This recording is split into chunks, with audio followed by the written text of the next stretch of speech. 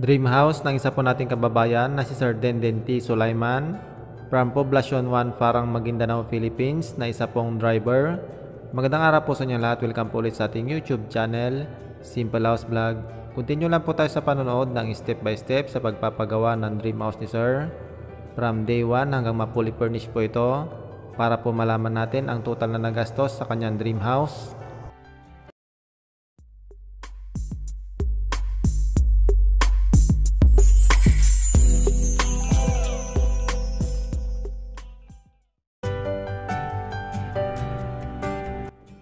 Yan naman po palang house floor plan ng dream house ni Sir na pinagawa niya sa kanyang foreman. Binago lamang po niya ito ng konti. Yung CR po niya nilagay po niya sa gilid. May sukat po yan na 25 by 32 feet or 74.3 square meters total floor area. Ito po ay may 3 bedrooms, 1 toilet and bath, living room, dining room, kitchen. Meron din po itong terrace at meron na din po siyang roof deck.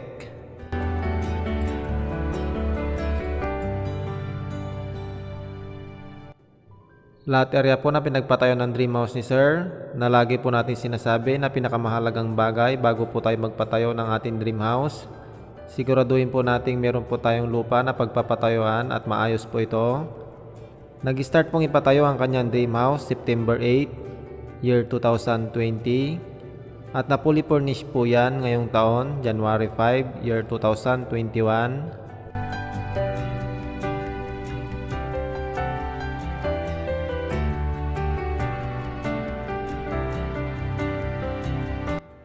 From day 1 hanggang na fully furnished po ang dream house ni Sir. Nandyan po siya nakabantay para po makita po niya ang progress ng kanyang dream house. Isa po yan sa pinakamahalagang bagay sa pagpapatayo ng ating dream house, yung mabantayan po natin ito.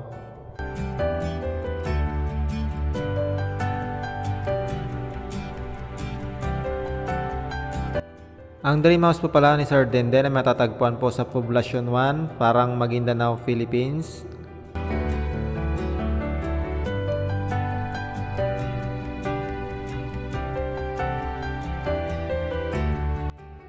Pangunahing materialis po pala na pinadeliver ni Sir sa pagpapatayo ng kanyang dream house. Kung mapapansin nyo po ang lupa po na kanyang pinagpatayuan ay medyo elevated po siya. Kaya medyo naparami po siya ng mga graba at buhangin. Nakagamit po siya ng almost 15 loads. Sa hollow blocks naman po 2,000 plus. 9.50 po ang bawat isa. Sa semento 400 bags. 250 pesos each. At sa mga size naman po palang steel bars na ginamit, 9mm, 10mm at 12mm. Nabanggit po natin kanina na ang dream house ni Sir ay may roof deck. So ginamitan po ng 12mm ang slab ng kanyang dream house.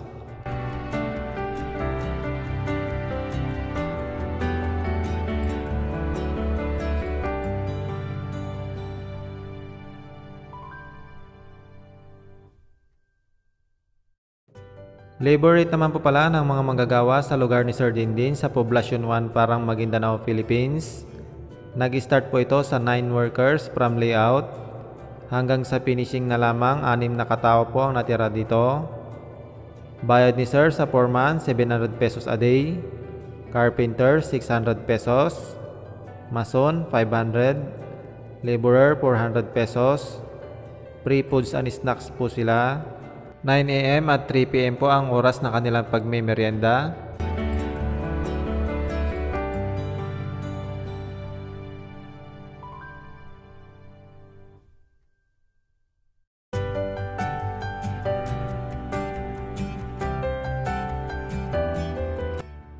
Sa pagpapatayo po ng ating dream house, hindi po mahalaga kung mabilis or mabagal ang pagpapagawa natin dito. Ang mahalaga step by step po ito at matibay. Isa rin pong advice sa pagpapagawa ng ating dream house, kung wala man po tayong nakabantay dito, siguraduhin po natin meron po tayong tao na laging nakabantay at malaman po natin ang progress sa araw-araw nilang ginagawa.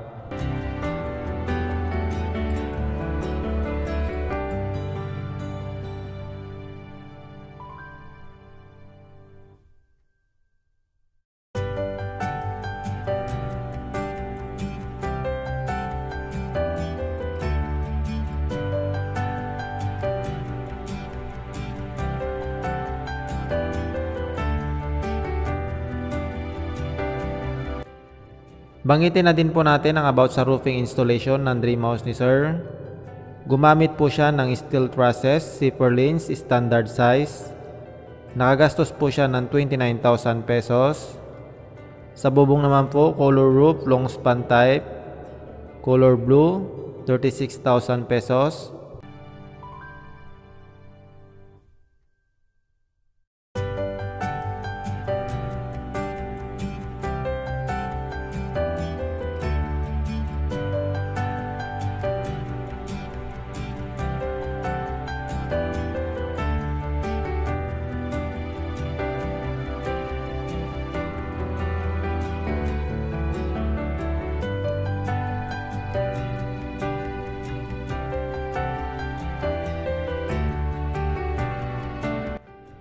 Continue lamang po tayo sa panonood kasi po step by step ito hanggang matapos ang dream house ni Sir. Makikita nyo po ang fully furnished house ng kanyang dream house sa bandang dulo ng video. Babanggitin na din po natin ang mga materialis na ginamit at in-install. Sliding windows, pina-install ni Sir, 22,000 pesos ang kanyang nagastos. Sa mga tiles po, 60 by 6 cm, 110 pesos each. Nakagamit si Sir ng 25 piraso. 50 by 50 centimeters 200 plus na piraso ang nagamit dito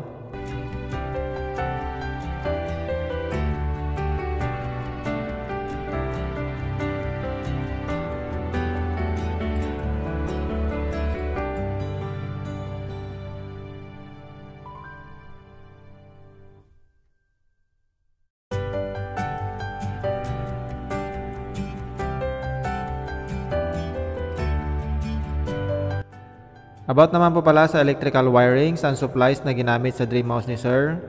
Nakagastos po siya ng 25,000 pesos. Sa pintura po ng kanyang dream house, Pakyawan, 35,000 pesos. Sa ceiling na ginamit sa dream house ni Sir, made of hardiplex, 310 po ang bawat peraso. 30 pesos po ang nagamit dito.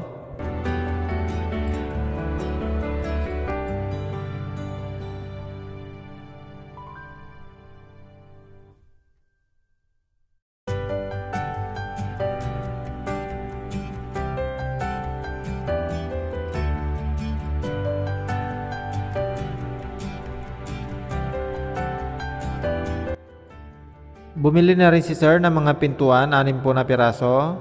Kasama na dyan ang CR na pintuan. 6,000 pesos po ang bawat isa.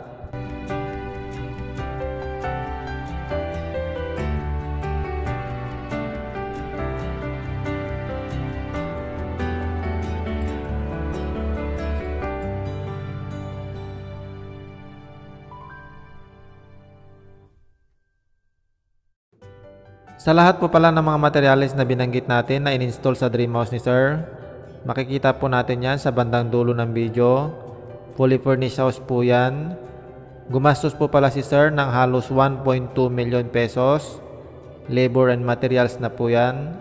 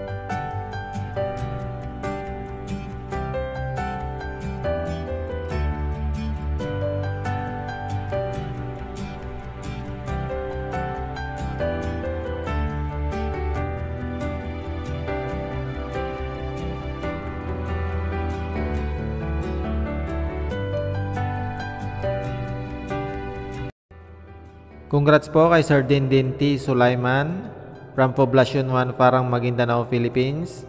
Bago po pala matapos ang video ito, gusto ko lang po magpasalamat sa lahat ng ating subscribers na laging sumusuporta. Maraming maraming salamat po. God bless po sa ating lahat.